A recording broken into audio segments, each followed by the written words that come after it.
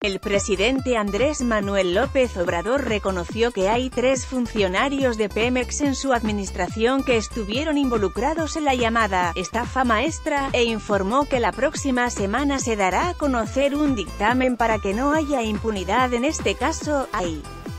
tres funcionarios que, sin declararlos culpables, estuvieron involucrados de una u otra manera en este proceso, la llamada estafa maestra, por lo mismo se les pidió información, entregaron notas informativas, argumentando que no tenían responsabilidad, señaló en su conferencia de prensa matutina. Estos son los temas que habló a MLO en su conferencia matutina ante ello, pidió a la secretaria de la Función Pública, Irma Heréndira Sandoval, que presente un dictamen en la siguiente semana, para tener todos los elementos, no cometer una injusticia, pero al mismo tiempo